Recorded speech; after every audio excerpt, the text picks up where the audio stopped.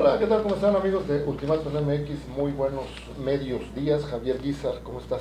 Muy bien, mi querido Alejandro, aquí en este jueves intenso, caluroso, hubo lluvia, también ha habido temblor y, este, y se nos antoja un pozolito porque hoy es jueves, mañana viernes, bueno, será otro tema. Sí, ya será otro tipo de... Claro, de, de, de vida. De bebida. De bebida. Muy bien, pues vamos a iniciar Arsenal de Plumas este jueves 10 de agosto del 2023. ¿Te parece? Empezamos con Ricardo del Muro. Bueno, aquí está la foto de Ricardo y el texto dice Pepe Altuza. No Claro. sé quién realmente sea. Bueno, dice, fue una agresión anunciada cerca del mediodía del martes en el barrio Las Casitas de Altamirano, cuando eh, personas armadas identificadas como parte del movimiento 14 de agosto abrieron fuego contra los pobladores. Están pidiendo la expulsión del síndico concejal Gabriel Montoya Oseguera. El enfrentamiento provocó un muerto y cinco heridos, uno de los cuales está grave. Esa es la, la introducción que se da en este texto, Ajá, pero también ahí se avisa que efectivamente los eh, representantes de estos grupos de allá de Altamirano ya habían venido al Congreso del Estado a pedir su intervención Así es. eh, para que las cosas se resolvieran de otra manera y todo parece indicar que no les hicieron caso y bueno, pues terminó en derramamiento de sangre. Eso es lamentable allá en Altamirano. Desde luego, desde luego que ahí hay otra nota en portada, dice Roberto Pinto, el responsable, inestabilidad en Altamirano. Este, esa es una nota informativa, pero se liga con este eh, texto de de Austral el día de hoy. Eh, pudimos ver las imágenes. Impresionante, ¿verdad? Rapidito. Alguien grabó donde estaban los, las personas armadas, ¿no? Este, armas largas traen. Se acostaban en el llanito ahí para este, librarse de los disparos de los otros. Y luego estos se ponían de pie y empezaban a disparar también allá en Altamirano. Eso ocurrió anteayer. Y bueno, de eso está hablando aquí este.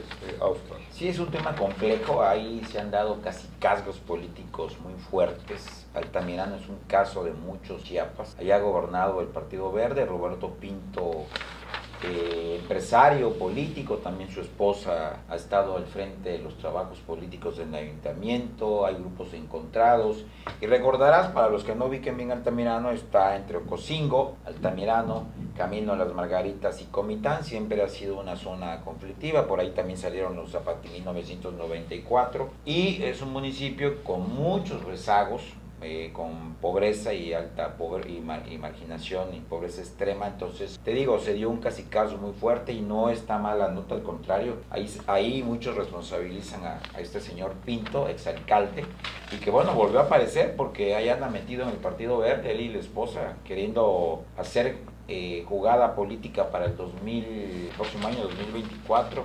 Ojalá ellos también valoren por la situación que se está viviendo en Altamirano. Yo creo que algo que adolecen todos los políticos y alcaldes cuando llegan al ayuntamiento es que se engolosinan, mi querido No lo habían Alejandro. detenido a Pinto Cantar, ¿no? ¿Ah? No estaba detenido Pinto. No, lo, no, lo detuvieron, estuvo detenido, Lo fue liberaron. lo liberaron, fue secuestrado. Ha sido muy astuto, acomodó a la esposa, creo que se llama Gaby, eh, al Partido Verde. Ahí viene ahorita en la estructura importante el Partido Verde, tanto para la gobernatura como para los municipios, diputaciones, senaduría y presidencia. Si es que van en coalición con Morena y PT, se- sin duda harán ruido y además traen capital económico y cuando traes capital económico pues tienes por supuesto presencia política. Aunque hay grupos antagónicos en Altamirano que no lo quieren le quemaron una casa le, que, le quemaron el, parte del ayuntamiento lo secuestraron. Entonces sí debería ahí don Roberto Pinto Canter pues medirle el agua a los, a los tamales o a los camotes como se suele decir no medir esta situación porque ya se calentó Altamirano y a él lo están responsabilizando. Sí, efectivamente. Bien, y vamos a tarot político de nuestro director Ahmed Samayoa, el carnal Marcelo, hoy en San Cristóbal. Y efectivamente habla de que a 18 días de que inicie el levantamiento de la encuesta para eh, buscar al coordinador o coordinadora nacional de la defensa de la cuarta transformación, dice que no es otra cosa que candidato candidato a la presidencia de la República, tendrá este fin de semana la visita de tres corcholatas. Mañana, viernes, eh, estará Marcelo Ebrard a las 2 de la tarde ofreciendo una conferencia de prensa. Después inaugurará la Casa Violeta y posteriormente encabezará el foro Pasaporte Violeta en el Teatro de la Ciudad Hermanos Domínguez. En tanto que Sheinbaum y Velasco eh, van a estar aquí este sábado 12, estará Claudia Sheinbaum encabezando eventos en Tapachula y Tonalá, eh, asambleas informativas en San Cristóbal de las Casas, Parque de la Feria, a las 2 de la tarde en la unidad deportiva en Villacorso y por la tarde noche en el Hotel Marriott aquí en Tuxtla Gutiérrez. Manuel Velasco estará en Palenque y llegará a Huixla el domingo 13, dice, encabezará como suele hacerlo un evento multitudinario. Bueno, y dice, se confirma que el exgobernador chiapaneco Manuel Velasco vendrá nuevamente a Chiapas antes del 28 de agosto y hará lo propio el tabasqueño Adán Augusto López Hernán. ¿Por qué? Pues como ya dijimos ayer, la encuesta, los recorridos van a terminar el 27. El 28 em, empieza el levantamiento de encuesta. El 3 de septiembre van a terminar las encuestas, las van a procesar supongo, y el 6 saldrá humo blanco con el nombre de él o la candidata morenista a relevar Andrés Manuel, lo que está diciendo aquí Ahmed Samayoa, este, el, el, calendario pues de la visita de las corcholatas en los recientes, en los próximos días al estado de Chiapas, que son, estará Marcelo, Adán Augusto, Manuel Velasco y Claudia, y Claudia Así es, Claudia. De tarot y adivinanza, ahí viene el morbo de ayer, ¿verdad? el famoso tertulia. Antenoche la tertulia y ayer fue pues una comidilla el día entero. Dice, dice el tarot y adivinanza de Ahmed Samayoa, sigue la perturbadora pregunta, ¿quién y con qué propósito sentó a Eduardo Ramírez Aguilar y a Zoé Robledo Aburto, debiera decir, con la secretaria de Gobernación María Luisa Alcalde, o es Luisa María Alcalde, eh, antenoche publicitada, tertulia y conocida en los mismos términos por ambos protagonistas. ¿Quién ganó? ¿Quién se dio? El primer encuentro ocurrió en el aeropuerto por una mera coincidencia, cuando aparecieron abrazados caminando, ¿te acuerdas? Y desde ahí ya reproducen los mismos textos, ¿notaste? En y la segunda, evidentemente, agendada. Y volvieron a repetir los mismos textos en sus publicaciones, en sus redes sociales. Efectivamente. Eso me causa inquietud y se han dado una serie de hipótesis que si ya acordaron, que si ya se dieron, que si quién va de gobernador, que si quién va de senado, si repiten, o el maestro Zoe va de senador,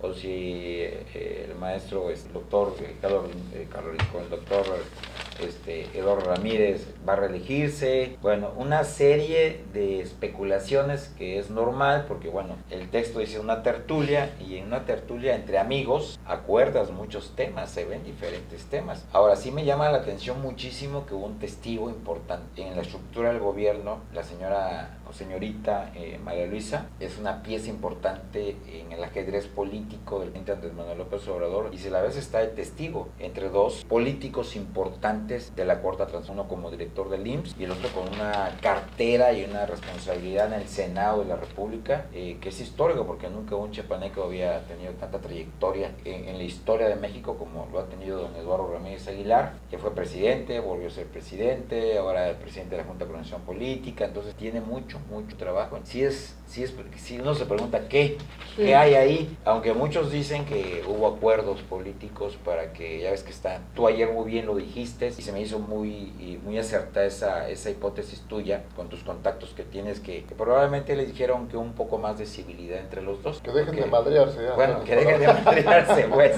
Bueno, no ellos, sus seguidores, ¿no? Que calmen a sus jaurías. Mm que calmen También a, ellos. Ellos mandan este, También que calmen a rebaños, ¿no? Sí, efectivamente.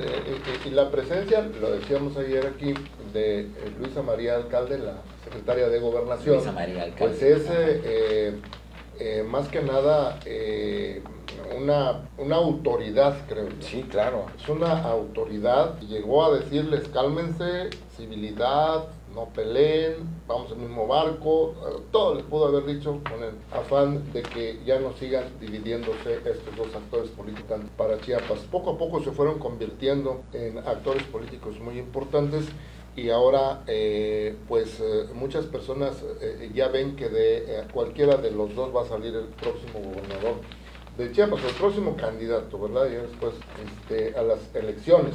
Eso se ve por un lado, pero por el otro lado recuerda que ayer este, dije, lo recuerdo hoy, de que no nos olvidemos que en algunos actos políticos en el mensajero está el mensaje, sí, claro. no en lo que digan. Entonces, Este, yo creo que fue un manotazo a mesa que mandó a dar el presidente López Obrador, entre ellos dos, para que ya le, le paren, ¿verdad? Ahora de acuerdos, yo dudo mucho que, que se promuevan ahí acuerdos, bueno, un acuerdo de civilidad tal vez.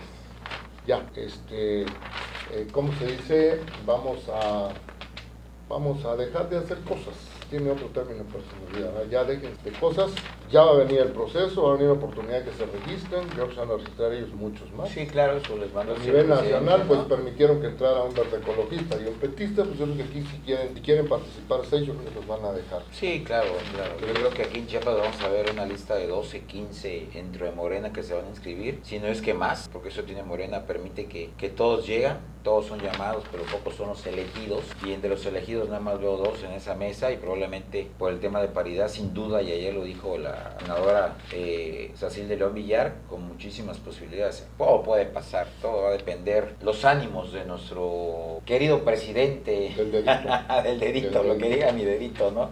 esa es la política, lo que diga mi dedito yo tengo otros datos. Eso es claro. Y si te portas mal, la, te, que, te, le hablan a tu mamá y, y a tu papá y te hablan las orejas. Eso no falla. Así es, pues así se quedó con este asunto. Yo creo que se nos vamos a quedar con esa idea porque no nos van a decir realmente qué es lo que pasó. En esa reunión allá en la con la secretaria de Gobernación, no sé si es en la Secretaría de Gobernación, ahí se ven. No, es un restaurante. Es un restaurante, ¿no? Se ven unas macetas todas feas allá atrás. No se ve que sea un restaurante elegante. Fíjate que hasta parece que fuera la casa que está en Reforma Norte, donde estuvo la casa de campaña de Andrés Manuel López Obrador, que es así, yo sí la conozco, he estado ahí, eh, he subido dos ocasiones y sí se parece hasta a los vecinos de enfrente, digo, no sé si sea ahí lo que es el partido Morena. Bueno, hay varios restaurantes por ahí, por ahí donde está. Porque está muy feo el diseño. este, bueno, pues ahí queda la foto y fíjate que todo el mundo le dio la interpretación a los tres protagonistas, no les importó las macetas, nosotros de chismosos andamos viendo las macetas ahí. Bien, y rápido vamos con Eugenio Hernández Sasso, Democracia Virtual, Efecto Colateral. Él está refiriéndose a algo de lo que estamos hablando. Dice que las decisiones que Morena tome en materia electoral en cuestión de género seguramente tendrán alguna repercusión en Tabasco y Chiapas, dos entidades del sureste mexicano en donde presumiblemente el partido oficial es invencible por ahora. Ya lo hemos platicado, efectivamente. Este, eh, no, no veo, yo insisto, ya lo he dicho, no veo que Morena esté obligado a poner mujer aquí o por allá, lo va a poner donde quiera el presidente, aunque para que cumplan su, su cuota de, de género, eh, como lo ordenan las leyes, aunque nos acordemos que a veces el presidente no le importa si una cosa dice la ley, si él quiere hacer otra cosa, pues también la hace, o la acomoda o las acomoda.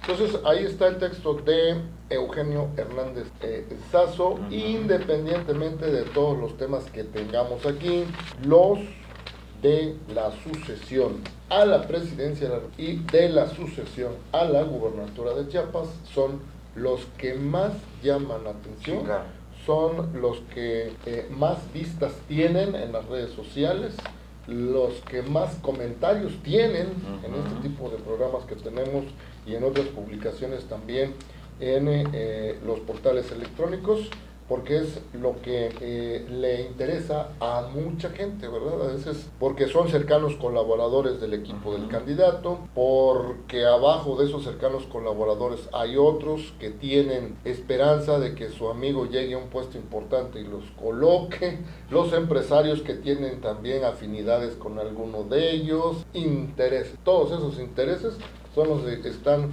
ahorita muertos eh, del morbo de lo que va a pasar. Todos. Está bueno.